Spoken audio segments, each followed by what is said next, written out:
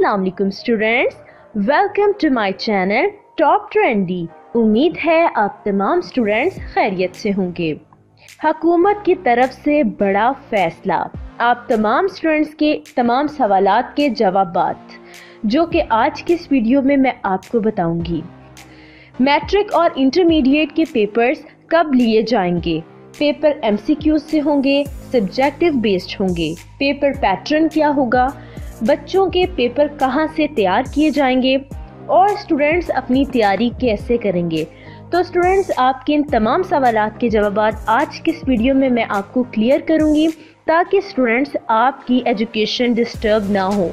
तो वीडियो को लास्ट तक ज़रूर देखिएगा और अगर आप मेरे चैनल पर न्यू हैं तो kindly subscribe my channel and press the bell icon ताकि मेरी न्यू अपडेट्स आप तक जल्द से जल्द पहुँचे।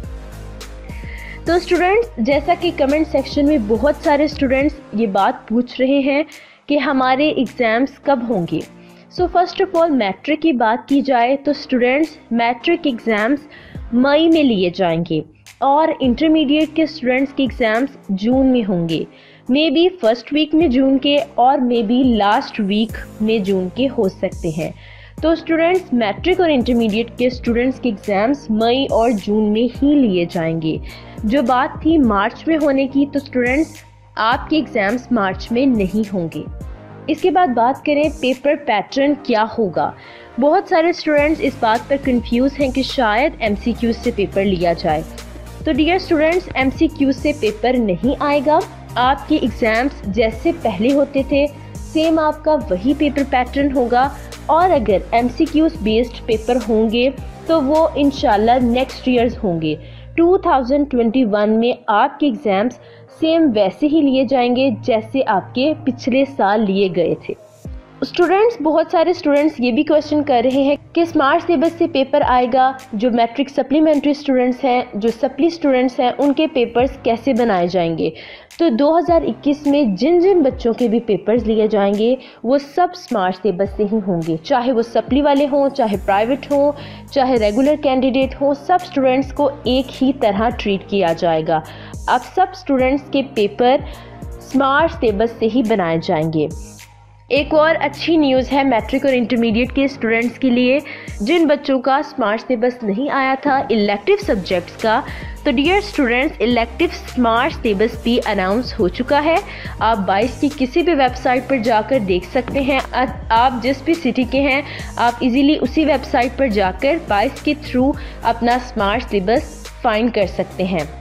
स्टूडेंट्स आप सब अब तैयारी कैसे करेंगे? पेपर कहाँ से बनाया जाएगा? तो आप सब स्टूडेंट्स के लिए पेपर स्मार्ट सिलेबस से ही बनाया जाएगा। तो स्टूडेंट्स ऐसा मुमकिन नहीं है कि आपके एग्ज़ाम्स ना हो।